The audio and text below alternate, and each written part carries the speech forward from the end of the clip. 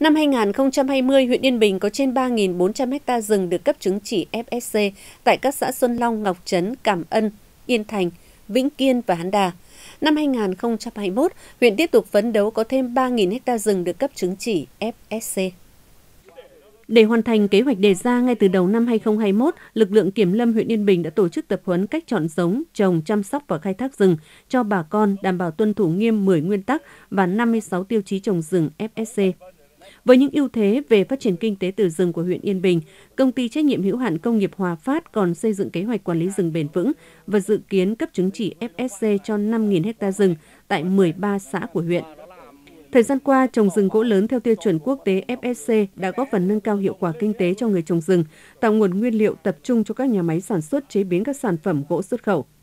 Không chỉ đem lại hiệu quả kinh tế, trồng rừng FSC còn góp phần tạo việc làm với thu nhập ổn định cho lao động nông thôn và bảo vệ môi trường sinh thái.